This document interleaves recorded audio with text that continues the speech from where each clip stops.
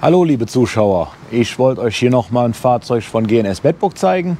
Das haben wir gerade eben fertig bekommen und den haben wir gerade rausgesetzt, sind den schön am Testen. Den zeige ich euch jetzt mal. Ja, hier stehen schon die Fahrzeuge für diese Woche bereit. Dann haben wir hier hinten den schönen Carthago stehen. Ein Carthago E-Line, voll integriertes Fahrzeug.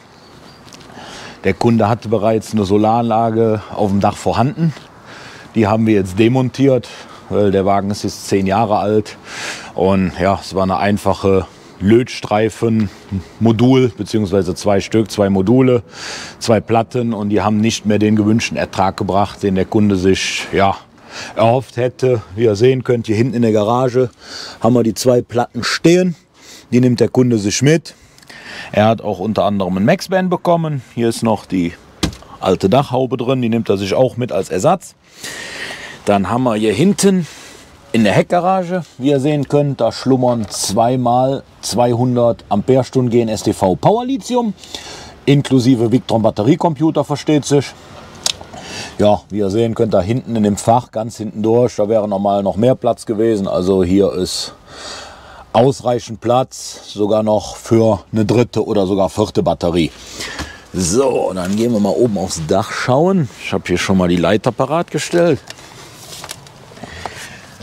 So. So, wie ihr sehen könnt, hier haben wir unseren Maxvan montiert in der vorhandenen Dachhaube. Hier vorne wollte der Kunde noch frei halten. Da möchte er nächstes Jahr noch eine Klimaanlage verbaut haben, dass wir hier ein bisschen Platz gelassen haben. Ja, da hinten hat er eine Sattanlage verbaut. Hier haben wir eine Platte, 120 Watt Black Kontakt. Hier vorne die zweite. Da haben wir ein Small Modul mit 110 Watt und hier vorne nochmal ein Small Modul mit 110 Watt. Wie ihr wisst, die Karthagos, die haben ja immer sehr viele Dachhauben. Hier vorne seht ihr das große Heki über der Sitzgruppe. Hier haben wir ein 40 x 40, dort ein 40 x 40. Ja, hier, das ist im Küchen- und Badbereich, zeige ich euch gleich von unten und natürlich hinten im Schlafbereich. Es ist zwar mal sehr schön, dass die sehr viel Licht haben und ja, sehr viele Dachhauben haben, aber ich sag mal, für die ganze autarke Solargeschichte ist es bei diesen Fahrzeugen immer sehr schwierig, aber da haben wir trotzdem immer Möglichkeiten und Lösungen. Dann gehen wir mal in den Innenraum schauen. So, hier steht schon alles bereit für die Abholung. Wie immer liegt hier alles. Ja, dann könnt ihr hier hinten sehen, hier haben wir zwischen Toilette und Dusche, die haben wir hier, haben wir unseren Maxvan eingesetzt, hier oben. Ja, und hier vorne haben wir freigelassen. Hier wünsche der Kunde dann im zweiten Step, hier im Küchenbereich, dass wir hier dann demnächst noch eine Klimaanlage einsetzen können. Das wird dann in der zweiten Ausbaustufe gemacht. Er hat noch eine zusätzliche Steckdose hier unten in der Sitzbank bekommen. Wie ihr hier sehen könnt, dort haben wir ihm noch eine Steckdose hingesetzt. Ja, und dann würde ich sagen, ist der Karthago bereit für die Abholung. Da haben wir hier als erstes einen schönen Karthago. Ist ein voll integriertes Fahrzeug. Ist ein C-Tourer, wie ihr sehen könnt. Und wirklich sehr schickes Fahrzeug, sehr gepflegt, muss man sagen. Und da schauen wir mal um Dach. Der hat jetzt von uns eine Solarerweiterung bekommen.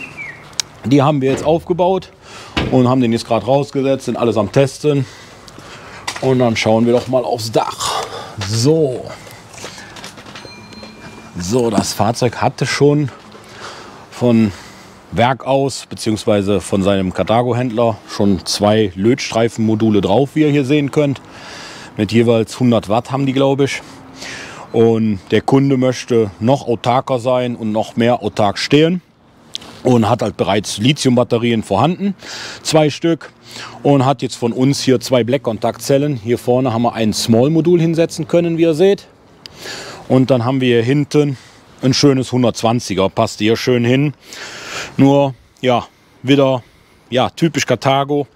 Wie man sehen kann, natürlich schön viele Fenster hier, Dachhauben, Lüfter und Entlüftungen hier. Nur natürlich mit der Solarplattenanordnung immer etwas schwierig. Aber wie gesagt, dafür haben wir ja die diversen Module in verschiedenen Passformen. In Small, in quadratisch oder halt in der Standardform, wo wir dann immer Möglichkeiten haben, das Dach gut zu bestücken. Hier vorne wäre noch was Platz, wenn er mal erweitern möchte.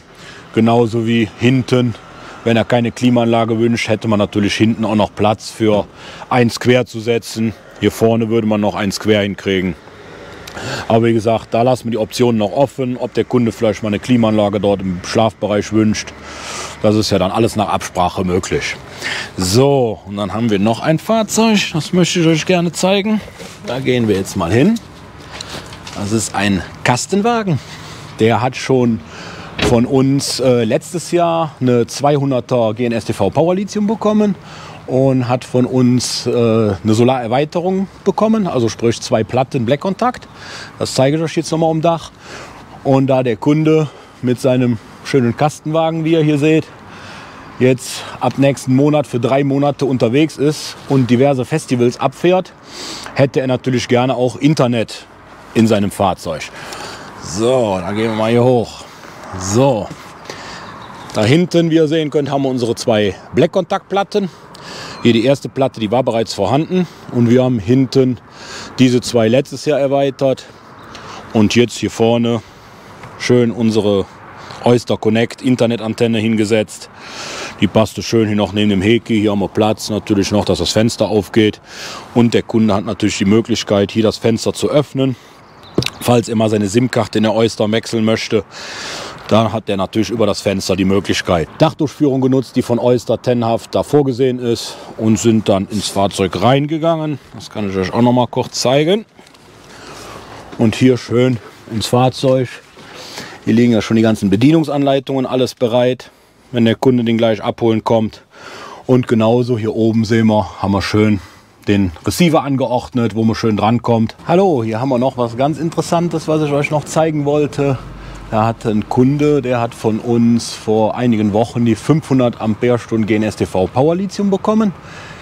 Dann hat er sich nach circa 14 Tagen gemeldet und hatte Probleme mit seiner Solaranlage und hatte geäußert, er hatte schon von Victron äh, Smart, MPPT Smart Regler drin äh, hatte geäußert, dass auf einem Kreis der Anlage, die nicht von uns war, muss ich dazu sagen, äh, keine Leistung mehr war, haben nichts mehr angezeigt und jetzt hatten wir heute einen Termin und hatten vermutet, dass eventuell der Victron MPPT Smart Regler defekt ist. Und da hatten wir heute einen Termin vereinbart, haben jetzt durchgemessen und ja, der Kunde ist um Durchreise in den Urlaub und dem müssen wir eine neue Anlage aufbauen. Er hat zwei Lötstreifenmodule drauf gehabt und die sind komplett defekt. Und das will ich euch mal kurz zeigen. So, den kennt ihr wahrscheinlich noch vom letzten Mal. Hier haben wir ihm ja ein Servo GX eingebaut. Hier oben hatten die anderen Kollegen schon einen Solarregler von Victron verbaut. Dann hat er noch von uns hier das GX Touch bekommen. Hier oben. Und hier unten in der Sitzbank hatten wir damalige Zeit die 500er verbaut. So, hier haben wir schon die zwei Module demontiert. Zwei Lötstreifenmodule. Zeige ich euch auch mal oben am Dach. So. So. Wie ihr hier sehen könnt, hier saßen die zwei Module und haben leider keine Leistung mehr gebracht. Und wie gesagt, auch solche Geschichten, ihr könnt uns gerne anrufen, schreibt uns eine Mail, wenn ihr solche Probleme habt. Da sind wir auch natürlich immer gewollt, euch zu helfen, sofern die Situation zulässt. Die Kunden, ja, die übernachten jetzt hier zwei Tage und wenn der Andreas dann fertig ist, dann geht es hier ran und dann kriegt er zwei Black-Kontakt-Module mit jeweils 120 Watt. Das zeige ich euch aber dann noch, wenn er fertig ist.